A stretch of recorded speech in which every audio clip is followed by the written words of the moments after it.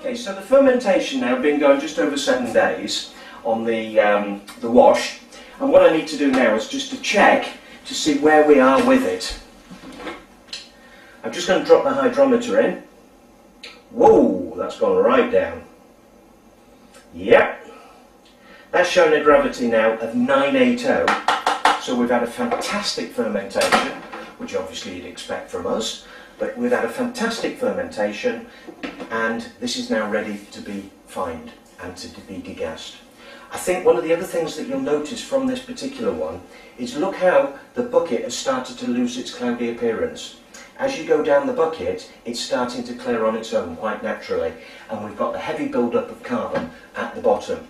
Now some people ask me, is it worth racking it off the carbon or siphoning it off the carbon at this stage into another container and leaving the muck behind?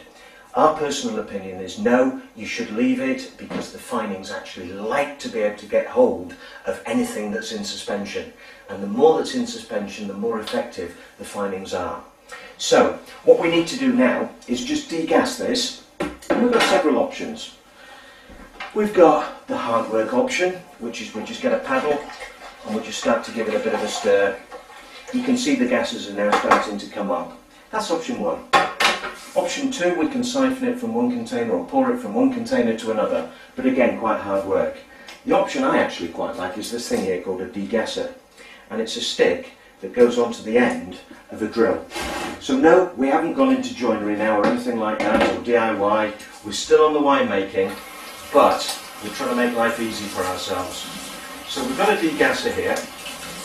I'll show you this in operation, but obviously just need to make sure it's clean and sterile before we start. That just simply goes into the chuck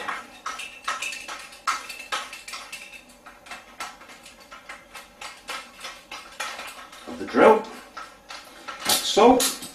This particular bung is particularly useful when you've got a glass or plastic fermenter, it just stops it going too far down. So when we do it, just hold it in place.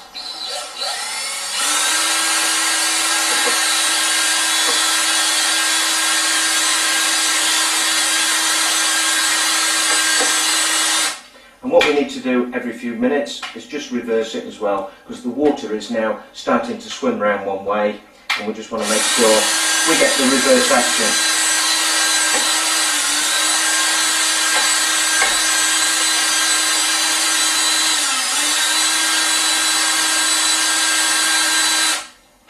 So you can see how much easier it is using the degasser than using a spoon. Um, so now we've degassed, now we've degassed the liquid, we just need to um, decide on adding the finings and which ones we're going to use. My personal preference on all these is the Turbo Clear. Uh, the Still Spirits Turbo Clear, probably the best finings on the market. It's a two-parter, so we've got one which is a negative charge and one which is a positive charge. Um, and these finings are absolutely vicious.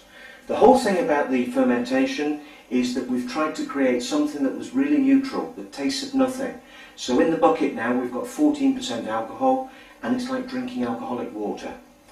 There's no taste to it. Now this will further remove any off flavours, any taste, anything that's in the liquid because that has to be as neutral as possible. Once it goes into a still and it's in a still, then the concentration of flavour will take place. So if you've got some off flavours in there, by the time they've been through the still, those are going to be increased. So what we do with the two-part finings is part A goes in at the start. So we just snip the corner, lob it in, and again we can use the, uh, the degasser to stir it up.